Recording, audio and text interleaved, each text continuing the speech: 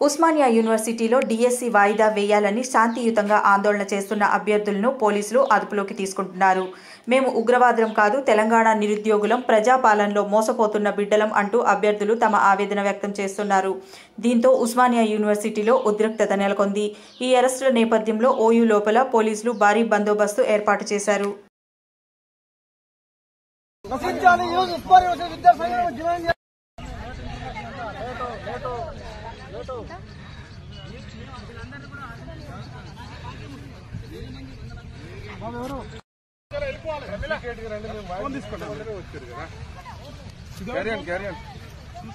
మీ పని మీరు తీసుకోండి.